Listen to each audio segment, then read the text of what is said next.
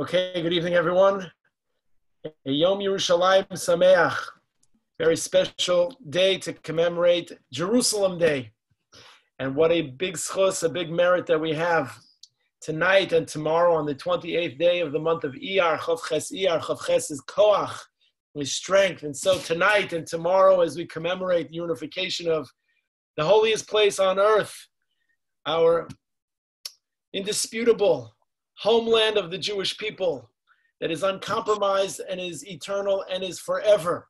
As we celebrate and commemorate the reunification of the holy city and the capital of the Jewish people, Yerushalayim and Kodesh, and we celebrate this day as the establishment of Israeli control over the old city, over the Ir Atikah, in the aftermath of the June 1967 Six Day War.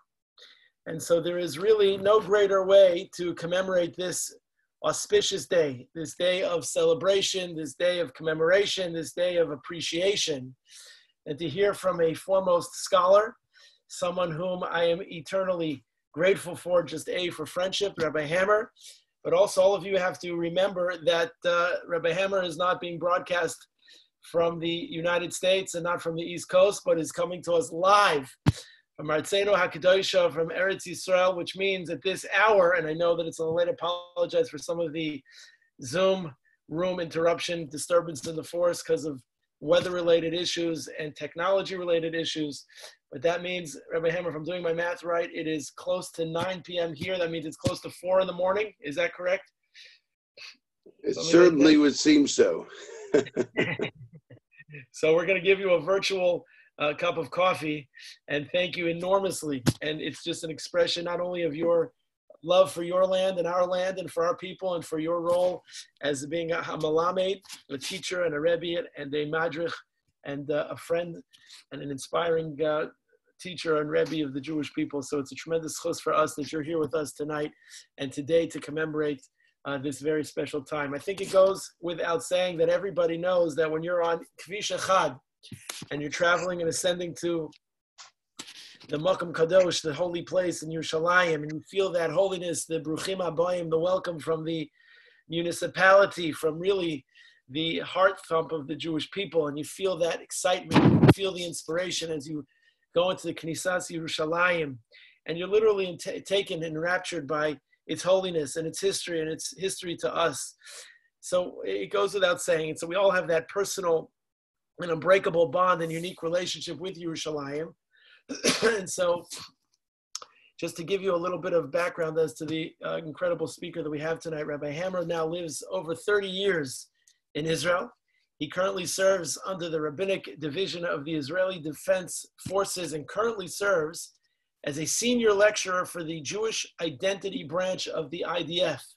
A very, very important job and a job that he does so well and very successfully. In addition, Rabbi Hammer is the founder and is the director of Makom Meshutaf. Mm-hmm. Makom Meshutaf, an organization which advocates tolerance and unity between religious and secular Jews in Israel through non-denominational educational programs. I can't think of something that is not only more needed and more necessary and certainly necessary and needed now more than ever before to bring Jews together and bring the world together in the in the uh, midst of this terrible pandemic, which we hope to emerge from in a better place. Rabbi Hammer has served as a contributing writer for the Jerusalem Post, is the author of five books, and is a highly sought after lecturer for communities in Israel and throughout the diaspora. I invite everybody to take a look at his website, www.rabbihammer.com. Rabbi, thank you so much for being up so late, so early. I appreciate you so much, your friendship, and thank you for agreeing to speak to us and inspire us. So, and so without further ado, dear friends of the Boca Jewish Center community and beyond, it's a kavod, it's a privilege and honor to welcome my dear friend, Rabbi Shalom Hammer Shlita. Well, thank you so much. Uh, I'm assuming that everyone could hear me, although I'll never know. Uh, actually, this entire experience is really what I would call a rabbi's dream. How often is it that a rabbi actually gets to go on and to speak to a so-called audience and put them all on mute.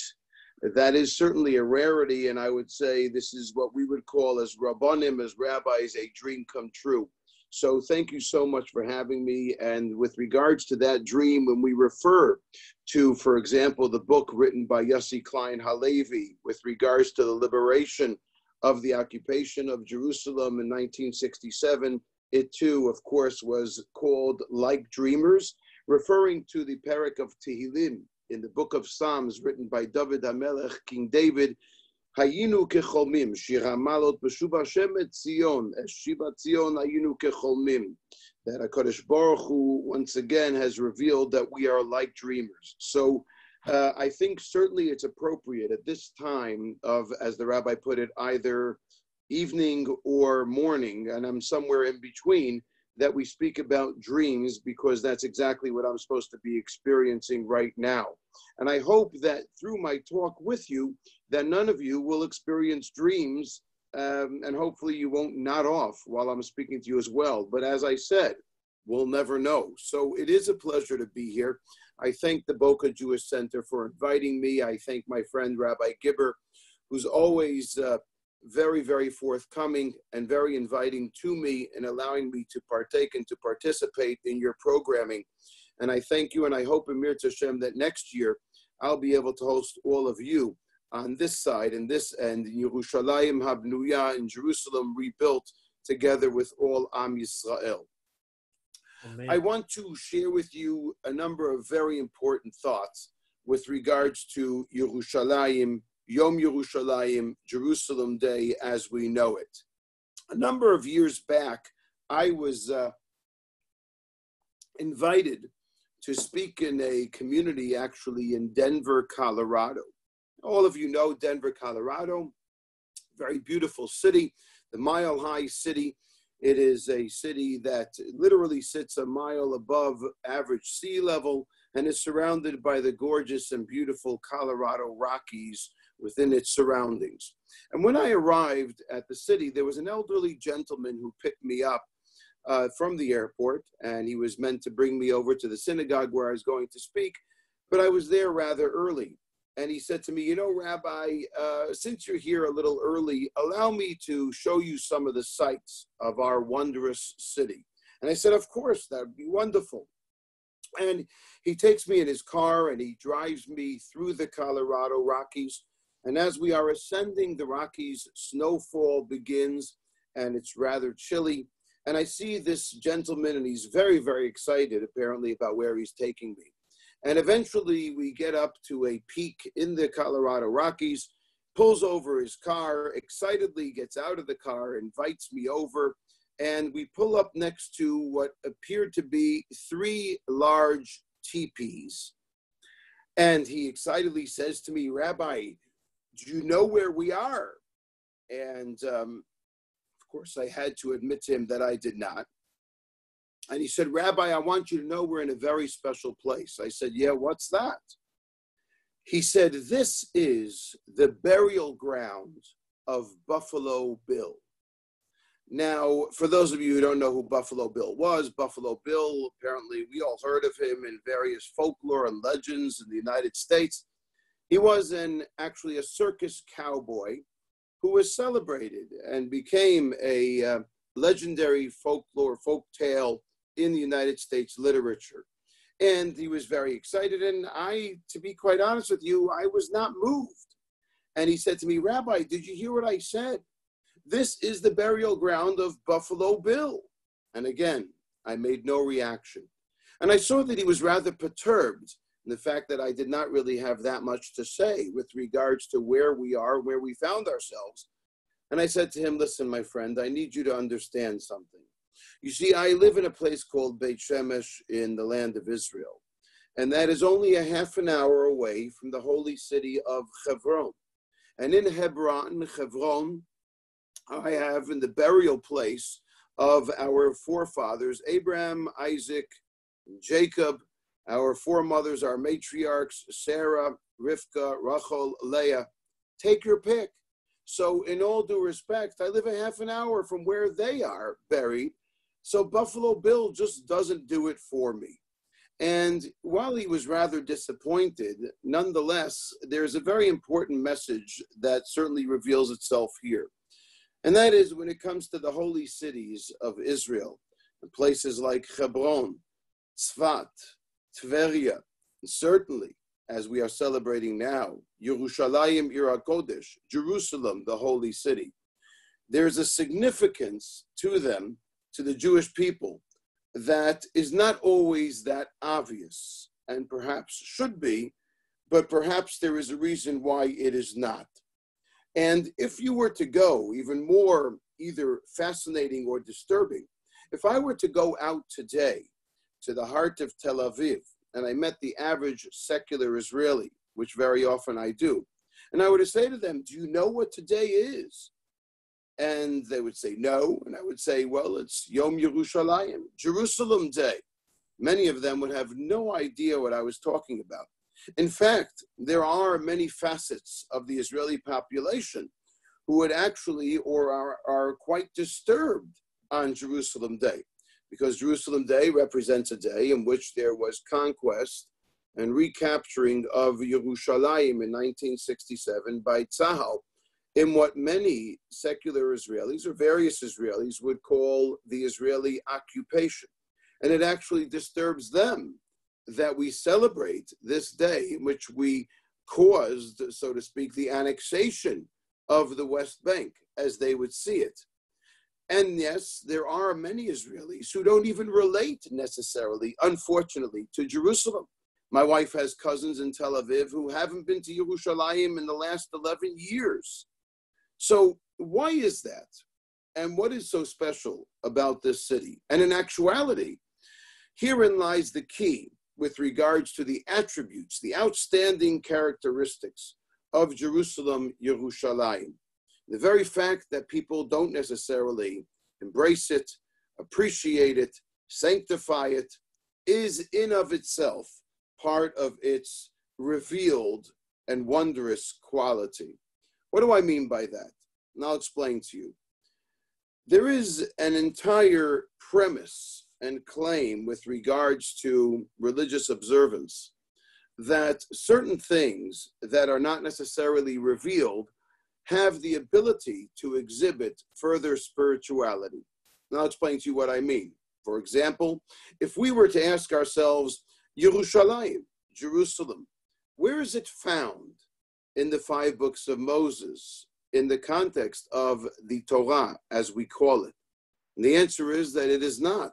You will never find the word Yerushalayim, Jerusalem, anywhere in the context or the text of the five books of Moses. In fact, interestingly enough, our Arab cousins, many of them who lay claim to the rights of their holy city, Jerusalem, well, if you were to venture into the Quran and to check the entire text of the Quran, there is no mention of Jerusalem either. And the question is, why not? if Jerusalem is so special, presumably even to the Arab people, even though there's no mention of the city, and in actuality in Arab faith, Jerusalem is not considered a holy city. It may have been a place that Muhammad en route to Medina and Mecca stopped off in Jerusalem, but we have no record or no recollection of that. But our own Torah, our own Bible, does not speak about, at least in a forthright manner, about Jerusalem. Why is that? And the answer is that this is one of the attributes that Yerushalayim, Jerusalem itself, had to, in a sense, reveal to us. And that is, we subscribe to the concept religiously that anything that is hidden, anything that is not overtly revealed and obvious or blatantly obvious, cannot be tarnished with regards to its spiritual nature and spiritual manner. I'll give you a typical example. Example: if I were to take uh, the concept in Judaism called tzniut, we classically refer to tzniut, or we translate it as modesty, but in actuality, that is not an accurate translation. Tzniut, tsanua, or what is something that is called mutzna, something that is mutzna is hidden, not necessarily modest. It is modest vis-a-vis the fact that it is hidden, but it is hidden. And therefore, we believe that things that are hidden, that are not revealed and not obvious, certainly have the ability to maintain more spiritual nature and more sanctity and sacredness as such.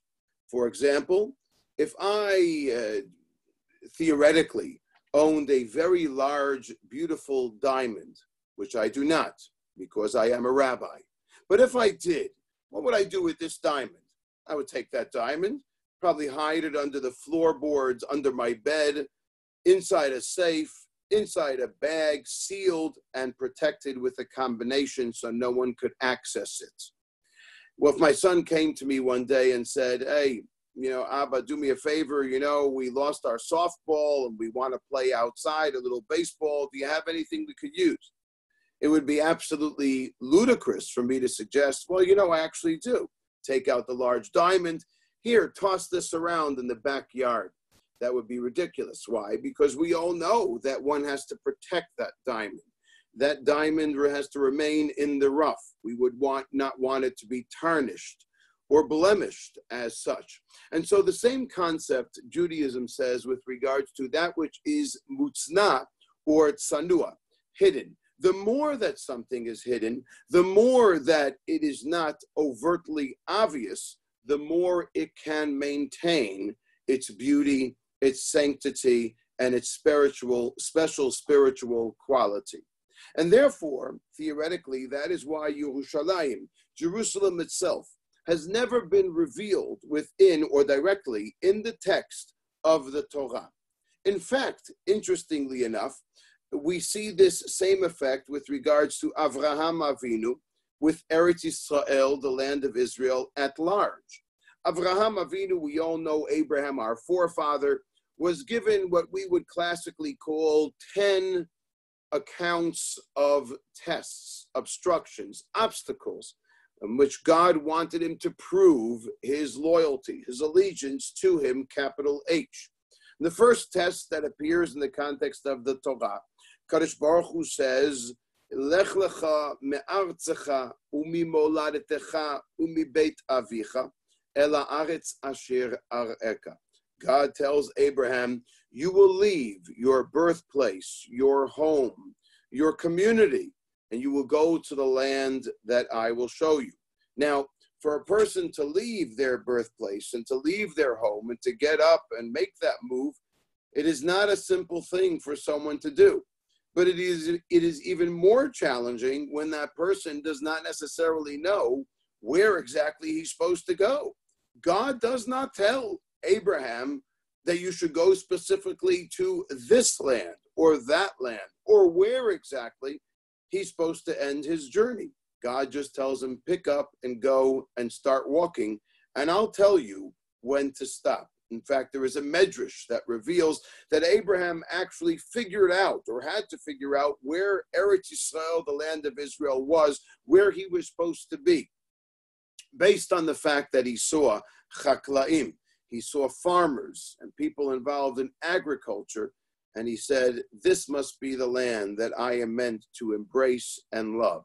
And sure enough, God says, Lecha nena ad olam. Yes, indeed. This is the land that I grace to you and to your generations to come. But what we see here is that even Abraham, with regards to his quest of the land of Israel, also did not know where he was supposed to go. It was not revealed to him to him immediately. And again, the reason why is because spirituality, spiritual attributes cannot necessarily be revealed immediately. We unfortunately in our family had a tragedy that happened to us a little over a month, five months ago. Our dear daughter Gila, at the ripe young age of 18, died by suicide. And it obviously has ripped the entire core and the roots of our family to its very core, and it's been difficult for us. And every single day is a challenge. And one of the things that I have found, or I try to find to a certain extent, a little glimpse of comfort, is the fact that now I no longer have any physical revelation whatsoever with regards to our dear daughter. I'll never be able to embrace her. I'll never be able to kiss her. I'll never be able to caress her cheek and I won't see her walk down the aisle and fulfill the dream that she had of marrying and having at least 13 children. It's not going to happen. So, what is the comfort that I can find? Where exactly are the places that I can possibly, if you may, look to connect with her? And the only place that I can do so is on a spiritual plane. There are various revelations, if you may, that I feel and that I might not be getting because I'm not such a holy person, but I at the very least feel that I'm getting signals and signs from her, from a spiritual realm. It is during davening, during my prayers, that I feel her closest and her neshama, her spirit and her soul, as being close and edged up upon me. And again, this is a concept whereby sometimes when we don't have a physical dimension or the physical manifestation, often the spiritual attributes can be even more powerful, more long lasting, and more impressionable upon us. And this is the concept with regards to Yerushalayim, Jerusalem, and the land of Israel itself.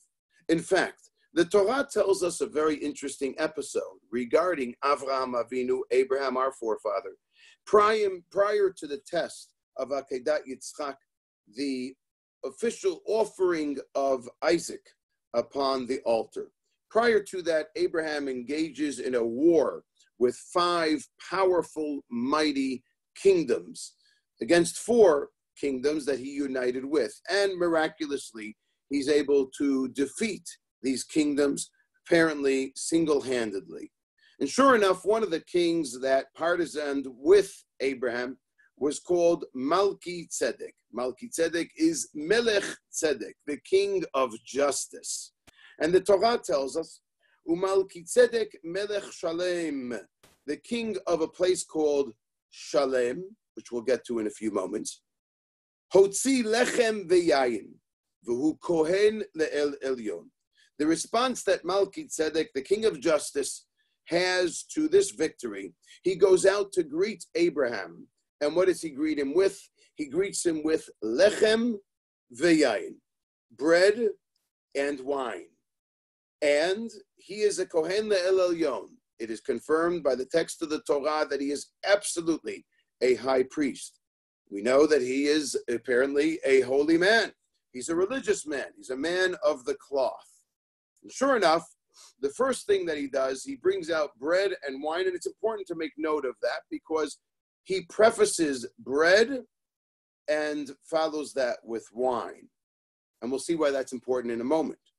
And what is the first thing that he does? When he greets Abraham, it says, Vayivarchehu. He blesses Abraham. Vayomer Baruch Avram le'el elyon. Blessed is Abraham to the Lord above. And then he says, Ubaruch el elyon. And blessed is he who is above, presumably God. So what we see here is that Malki Tzedek, while he's considered the king of justice, and he's also the king over a land called Shalem, Shalem meaning unity, wholesomeness. He prefaces bread to wine, and he also prefaces blessing Abraham prior to God himself, capital H. Chazal.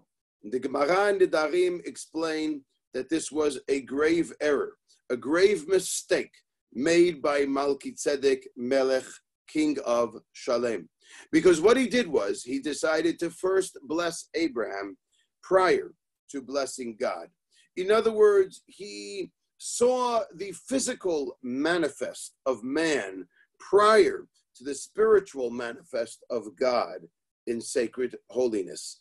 And this was a grave error that he made. And in fact, it's revealed even prior to his offering these blessings, because the first thing that he brings out is bread. Bread represents bezeat apecha tochal lechem. Bread represents our work, our physical manifest in this world, our ability to offer a parnasa, a livelihood, if you may, a materialistic realm of this world. Whereas yain, wine, as we all know, has the ability to take that which is perhaps mundane and raise it for kiddush, havdalah, amavdil ben kodesh lecho, for a brit milah, to circumcise a child and bring him into the world as a Jew. and to marry off a couple to begin building a Bayit Ne'eman B'Yisrael, a true, beautiful household that will perpetuate the future of the Jewish nation. And so wine has or accentuates the spiritual attributes of this world. And Malki Tzedek emphasizes bread first. He blesses Abraham first and then God. And it is for this reason that the Talmud says that Malki Tzedek would not be able to ultimately inherit the land of Shalem, which we will see in a moment what that is or where that was. Who did inherit this land of Shalem, this land of wholesomeness, Shalem, Shleimut, oneness? The person who inherited it, of course, as we all know, was Abraham, our forefather. Where? By the Akedat Yitzchak. The sacrificial offering of our forefather Isaac, the Torah tells us as follows. Bayom Shlishi, on the third day, as Abraham ascends this area in which he was supposed to offer his son Isaac, on the third day, Vayisa Avraham et Enav, Vayar et Hamakom Mirachok.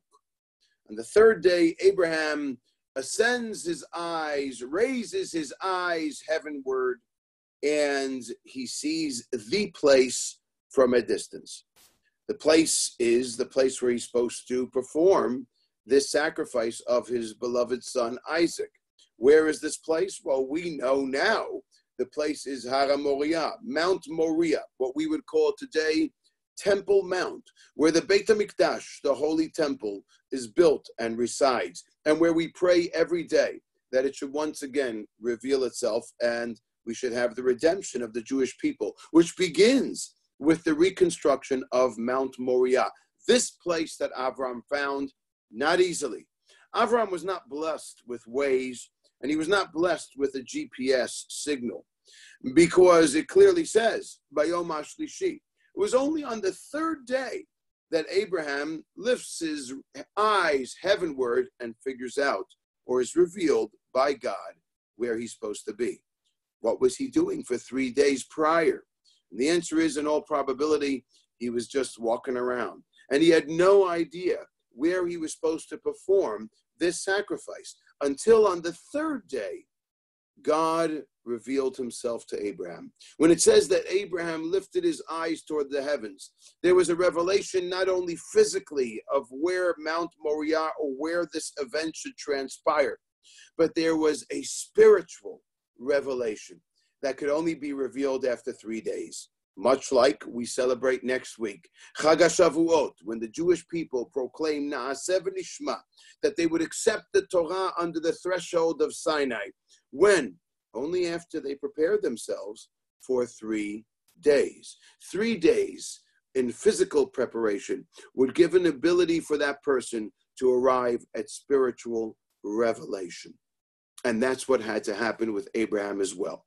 Well, sure enough, when Abraham figures out that this is the place that he will offer sacrifice of his son Isaac, the Torah says that Abraham ascends and he says, El Ne'arav, to his kinsmen. Who are these Ne'arim?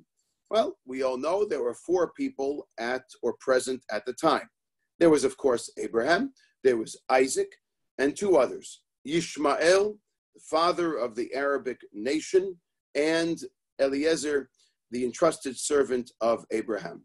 Abraham turns to these two characters, these two personas, and he says to them, Shvu lachem po im hachamor, ve'anar nelcha v'nishtachave v'nashuva elechem. Shvu lachem po im hachamor literally means, you two guys, you sit down and hang out with the donkey.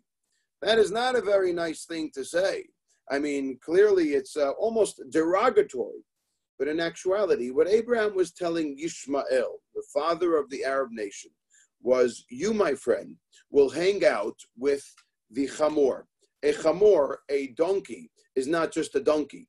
The word chamor in Hebrew also comes from the roots of what we call chomer. Chomer is materialism. Chamar is clay. It is materialism in this world. And it is here that Abraham informs Yishmael that you will have all the chamor, all the chomer, all the materialism that you could possibly wish for in this world. and we all know that they got it. All of the oil fields of the world uh, belong to the Arabic nations. And to as large extent, they're able to hold the entire world hostage as such, except for this time during Corona. But otherwise, it's been true throughout history. Well, sure enough, these Ishmaelites, the Arabs, received the material benefits of the world, and Abraham proclaims, I'm looking for something else. I don't want that which is necessarily revealed immediately. I don't want that which physically manifests itself in an obvious fashion. Ani ve'anar, me and my son Isaac, who are going to represent the future of a Jewish nation, nilcha v'nishtachaveh, we are going to prostrate ourselves in front of God, and then we will return. We are looking for spiritual sustenance. We are looking for a spiritual existence. That's who we are. That's what we represent. That is what we embrace.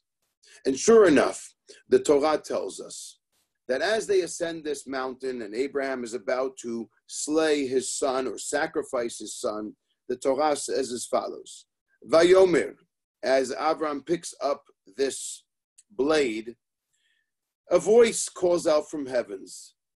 Vayikra elav malach Hashem min hashamayim. The angel calls out from the heavens, Vayomer, al tishlach yadcha el anar ve'al ta'as lo me'uma. Do not lay a hand upon the child and do not inflict any injury upon him. And the question is rather obvious. Uh, it would seem, and we know, that the text of the Torah itself is never meant to be superfluous. It is ne- never meant to be repetitive. And yet, here the angel says to Abraham, Do not lay a finger upon the child and do not inflict harm upon him. Well, aren't those really one and the same?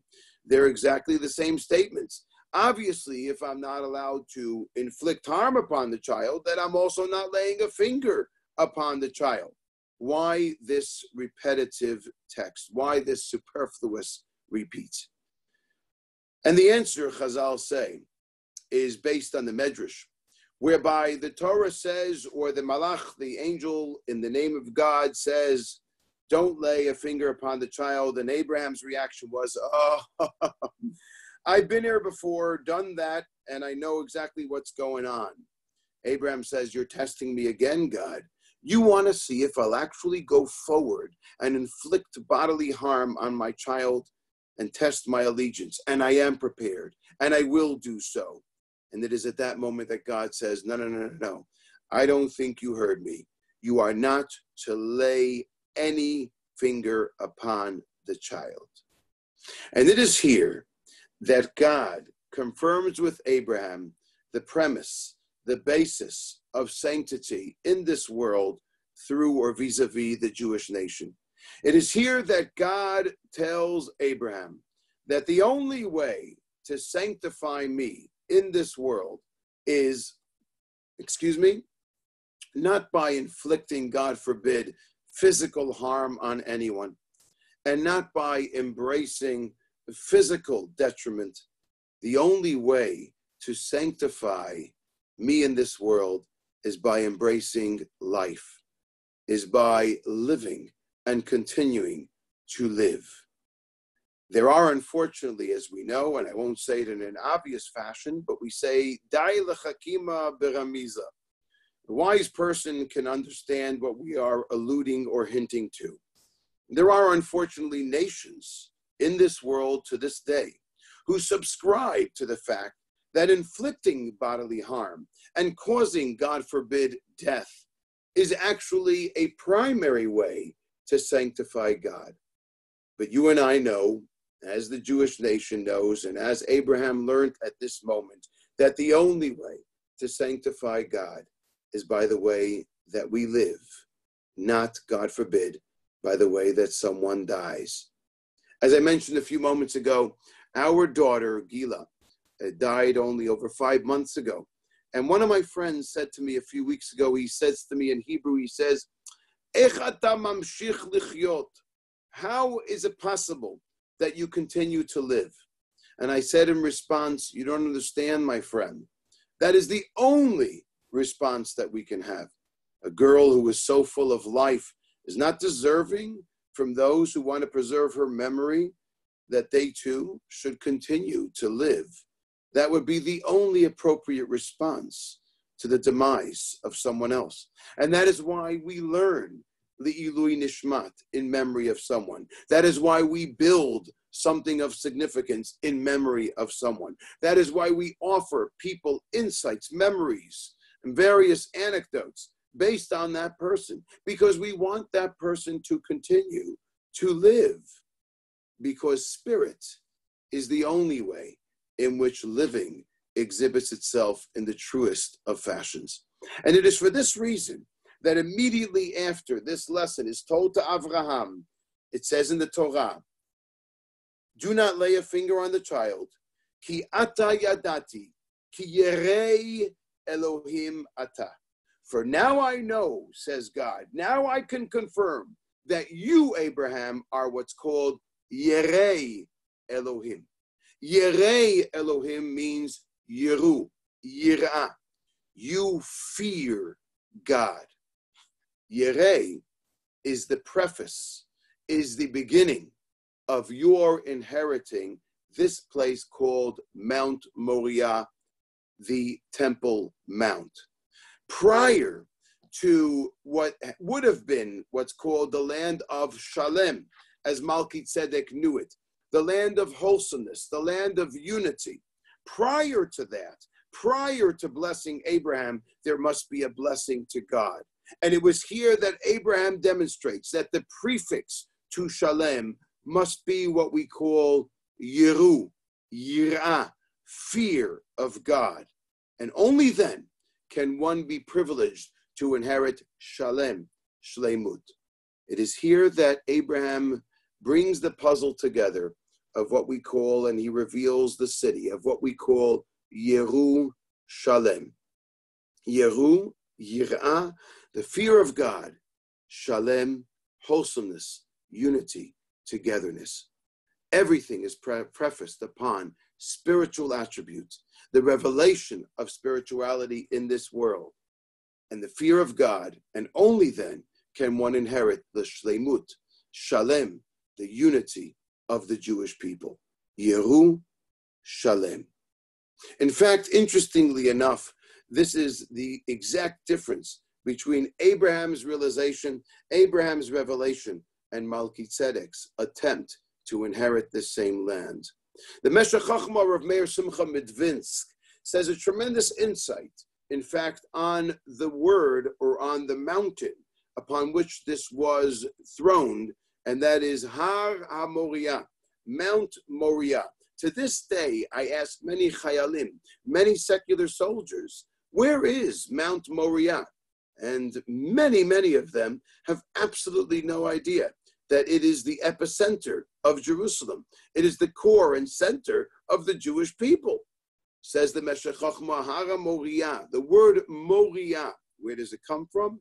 He says, Har shiatza mimenu eh, yirah vehora'ah. It is the mountain which clearly exhibits two attributes, yirah, the fear of God, and Hora'ah, Moriah, Hora'ah is education.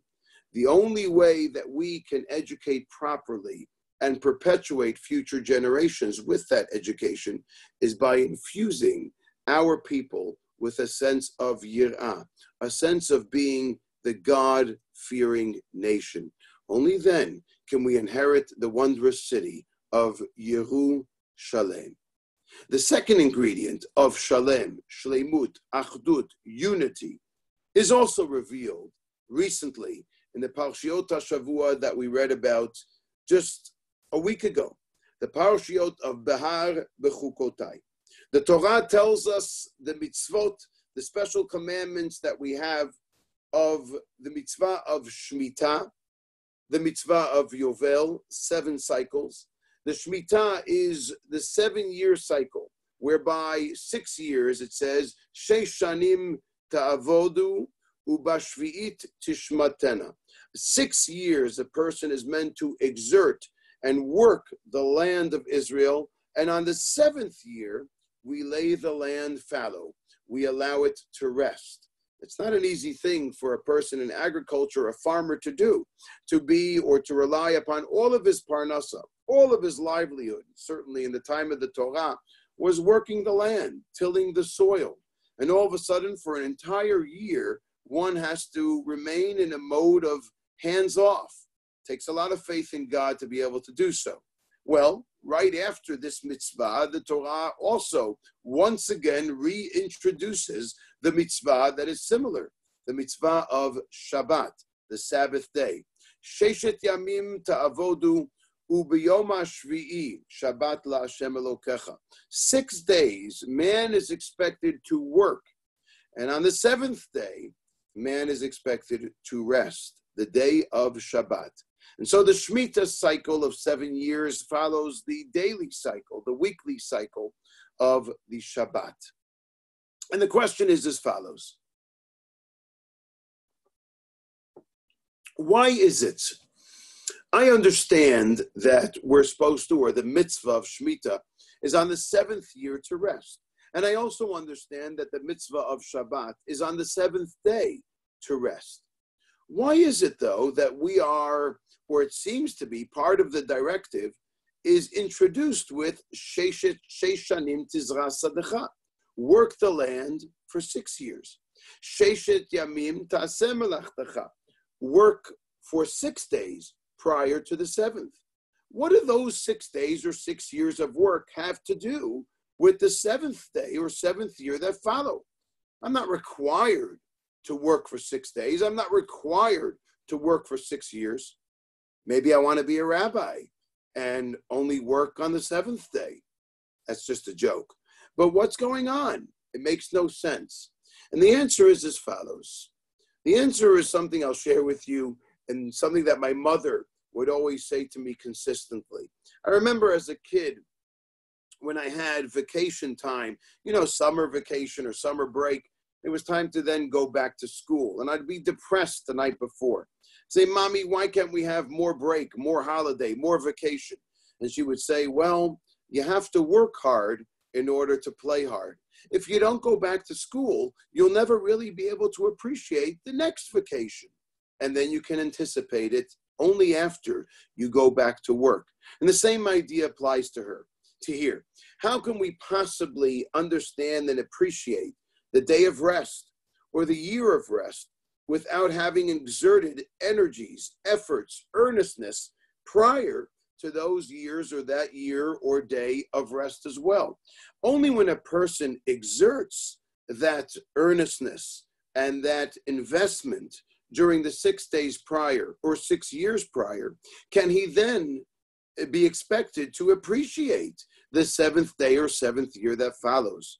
You work hard, you then can play hard and relax hard. Now, obviously, we're not involved in, we're not involved, we're not supposed to be involved in playing, but certainly we have reflection, inflection of understanding and appreciating spiritual attributes. It is only after we involve ourselves in physical energy and earnestness, the physical manifest of this world, of getting our hands dirty, of tilling the soil, of plowing the fields, only then can we reveal and appreciate the wondrous attribute of Shemitah, of Shabbat, of spirituality which was hidden, much like the experience that Abraham had in revealing the spiritual attributes of Jerusalem and the land of Israel. And sure enough, it is six days, six years that lead up to the wondrous spiritual revelation of the seventh. All of you I speak to now, you all know that Jerusalem was liberated during what we call the Six Day War. It took six days for Tzahal to fight to arrive at the seventh day of rest, where we could proclaim that Jerusalem, Yerushalayim, was once again ours. Yerushalayim biyadenu. Yerushalayim is in our hands. We have used our hands to fight, and now we are blessed on the seventh day to demonstrate the spirituality of Jerusalem. And we also know that the Six Day War took place on that year of 1967. The six leads to the seven. The physical leads to the spirituality of the seventh day in which we rest. And finally, we all know as well that there was another attribute that we were able to conquer and recapture the land of Yerushalayim, Jerusalem. What was it? Well, all of the various forces when they were on their lonesome, i.e., Etzel, the Palmach, Lehi, all of them tried to recapture Jerusalem as separate entities. It was only when they united, it was only when they became shalem, wholesome, as Tzahal, Tzva Haganah LeIsrael, a united force, the Israel Defense Forces. Only then, when they demonstrated Achdut, unity as one together, could they then be successful in inheriting Yeru, the fear of God, Shalem, wholesomeness as one. And that are the, those are the attributes that we, the Jewish people, have to continue to embrace in order to be able to be privileged both to preserve not only Jerusalem, but all of the land of Israel. It is only when we further develop our spiritual connection to God, and it is only when we further accentuate our connection to each other, to one another, the unity that we're supposed to feel amongst the Jewish nation, which sometimes is hard pressed, but must be reinvigorated and revisited on a daily basis.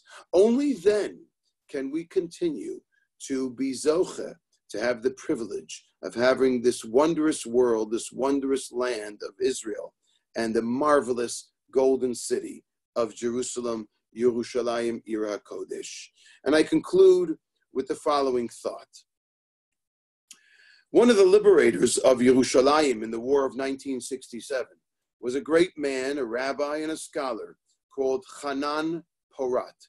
Hanan Porat lived in one was one was one of the founders of the Gush Etzion settlement, and he was also a actually a Tanakh scholar and a member of the Knesset for many years. And he wrote a perush, a commentary on the book of Tehillim, the book of Psalms. And in this commentary, he speaks or refers to one pasuk, one verse, in which it says, Samachti ba'omrim li, Beit Hashem nelech, omdot hayu raglenu b'sha'arayich Yerushalayim. I rejoice, I am happy, ba'omrim li, when they tell me that I am going to the gates, the pearly gates of Jerusalem, that I will stand by the gates of Jerusalem. And says Hanan Porat a tremendous insight. It doesn't say in the verse that I am happy be Yerushalayim. It doesn't say that I am happy or filled with exuberance that I'm in Jerusalem. No.